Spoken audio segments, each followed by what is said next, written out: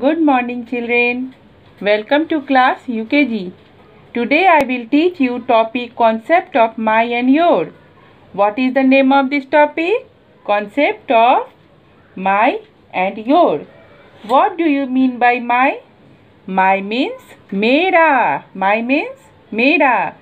जो चीज़ आपकी होती है उसे आप क्या कहते हो उसे आप माई कहते हो जैसे this is my book this is my ball your means तुम्हारा, आपका. बच्चों, मैं यहाँ पर कुछ सेंटेंसेस बनाई हूँ। आप मेरे साथ पढ़ोगे।